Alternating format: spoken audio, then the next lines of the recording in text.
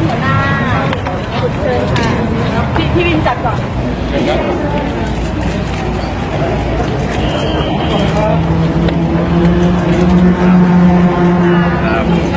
โอ้กังวลไหมคะโอ้กังวลไหมได้เออได้แล้วแล้วแต่ว่าเตรียมเตรียมเรียบร้อยนะ ถ้าเกิดเขาจะฟ้อง ถ้าเกิดอายการฟ้องกำลังใจดีนุญาตนะขออนุญาตช่างภาพถอยก่อนได้ไหมคะ ครับ ด้านนี้ค่ะ ด้านนี้ค่ะ ด้านนี้ แถลงข่าวก็จะมีเอกสารประกอบการแถลงข่าวให้กับพี่น้องสื่อมวลชนทุกท่านอย่างครบถ้วน รายละเอียดอ่าข้อท็จจริงทางคดีและการสั่งของพนักงานอายการจะเป็นประการใดจะมีท่านทำชาริจันได้อ่านำเรียนให้กับท่านพี่น้องสื่อมวลชนที่อาญาฐานดีกาของอาญาการเมืองนะครับ ซึ่งก็ศาลก็ได้มีคำพิพากษาจำคุกไปแล้วนะครับในกลุ่มของผู้บริหารธนาคารแล้วก็คุณวิชัยพิสดาทานนนะครับอันนี้มันเป็นเรื่องที่สืบเนื่อง อันนี้สำหรับกรณีคดีวันนี้ที่จะมีการยื่นฟ้องเนี่ยเราก็จะแบ่งเป็นสองกลุ่มกลุ่มผู้ที่โอนเงินนะครับ ที่ได้มาจากการอนุมัติสินเชื่อโดยมิชอบนะครับ ซึ่งพนักงานสอบสวนก็ได้ส่งสำนวนมาที่อัยการแล้วเราก็ได้ยื่นฟ้องไปแล้วก็คือคุณวิชัยกฤษดาทานนท์นะครับกับพวกอีก 13 คนนะครับ ในเรื่องของการสมคบกันฟอกเงินนะครับแล้วก็รวมกันฟอกเงิน สำหรับอีกกลุ่มหนึ่งเนี่ยก็คือกลุ่มผู้ผู้ที่ได้รับโอนเงินนะครับที่โอนมาให้นะครับ ก็ตั้งแต่ในช่วงเดือนกรกฎาคมปี 61 ถึงเดือนกันยายนก็มีการส่งสำนวนนะฮะอย่างในเดือนกรกฎาเนี่ยมันเป็นสำนวนของคุณเกซินีจิปิภพกับพวกสี่คนนะครับอันนี้เป็นกลุ่มรับโอนเงินนะครับในช่วงเดือนกันยาก็ส่งสำนวน ของผู้รับโอนเนี่ยนะครับ159คน ก็ตั้งข้อหาว่าสมคบกันฟอกเงินร่วมกันฟอกเงินนะครับ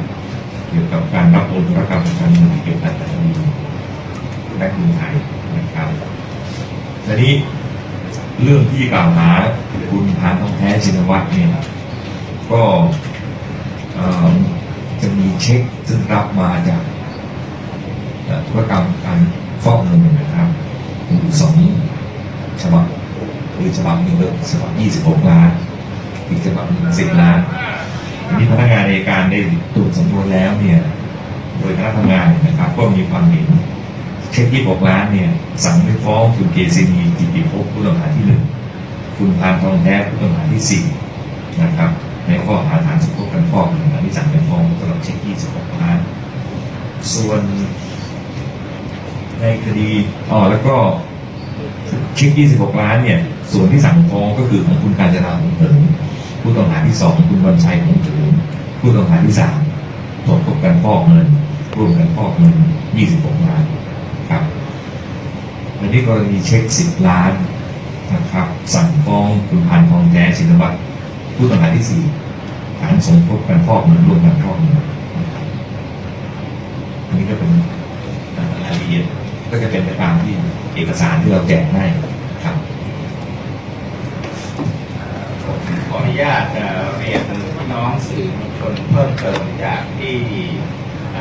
ท่านพรมชาริจันทร์รองโฆษกได้นำเรียนท่านสื่อมวลชนโดยละเอียด ซึ่งรายละเอียดทั้งหมดก็จะอยู่ในเอกสารการแถลงข่าวของสำนักงานในการสูงสุดของเราอยู่แล้ว เรียนเพิ่มเติมเพื่อความเข้าใจง่ายๆ สั้นๆ อย่างนี้นะครับ เรื่องวันนี้เนี่ยสืบเนื่องมาจากคดีที่ศาลฎีกาแผนกคดีอาญาของผู้ดำรงตำแหน่งทางการเมืองนะครับมีการดำเนินคดีในวิชัยกฤษดาธานนท์อ่ากับพวก และผู้บริหารธนาคารกรุงไทยกับพวกในการปล่อยสินเชื่ออให้กับกลุ่มนายวิชัย ซึ่งคดีดังกล่าวศาลฎีกาแผนกคดีอาญาได้มีการพิพากษาลงโทษจำคุกไปแล้ว ทีนี้คดีที่มัน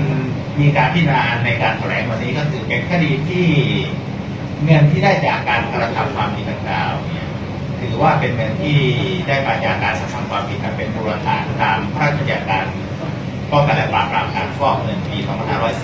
2542 แล้วก็ถ้าผู้กระทำความผิดก็จะมีการแบ่งออกเป็นสองกลุ่มคือกลุ่มที่โอนเงินต่อไปคือกลุ่มนายพิชัย อันนี้เนี่ยเป็นข้อหาร่วมกันฟอกเงินอันนี้อัยการฟ้องไปแล้ว นะครับอย่างที่ท่านทำได้แถลง ส่วนคนที่รับโอนเงินมาในคดีนี้มันมีอยู่สามคดีอย่างที่ในปรากฏเอกสารในส่วนของคุณโองค์การทองแท้ที่แถลงวันนี้เนี่ยนะครับมันมีสองคดีคือเช็ค 26 ล้านกับเช็ค 10 ล้าน เช็ค 26 ล้านที่ได้มาจากคุณวิชัยเนี่ยมีผู้ต้องหาอยู่กลุ่มเนี้ยมีอาการเราจะสั่งไม่ฟ้องอยู่ทั้งหมด ก็คือสั่งไม่ฟ้องนางเอสมีติติภพนะครับสั่งไม่ฟ้องนายผ่านทองแท้นะครับ ในในข้อหานี้ผู้ต้องหาสี่คนเนี่ยนะครับ ส่วนที่ฟ้องไปในเช็คที่ 16 ล้านก็คือฟ้องคุณการจนาและคุณวันชัยสองคนสำหรับเช็ค 10 ล้านนะครับเป็นอีกกรณีหนึ่งเนี่ยกล่าวหาเฉพาะนายผานทองแท้ชินวัตรซึ่งเป็นผู้ต้องหาที่สี่ร่วมกับกลุ่มผู้ต้องหาคือนายวิชัยเนี่ยส่วนคดีนี้คืออัยการสั่งฟ้องสำหรับวันนี้นะครับ นายพันธุ์แท้ก็ได้มาพบพนักงานในการแล้วก็คงจะเข้าสู่กระบวนการขั้นตอนนำตัวไปส่งฟ้องต่อศาลต่อไป นี่คือรายละเอียดอ่าอ่าที่ที่ที่ปรากฏตามเอกสารข่าวที่ได้นำเรียนกับท่านสื่อมวลชนอ่าถ้าท่านสื่อมวลชนมีคำถามอะไรในช่วงนี้ขอเรียนเชิญครับมาลองทำจากความมองแทนแต่แยกฟ้องจนไม่ต่างจากมาตรฐานนะครับก็ฟ้องก็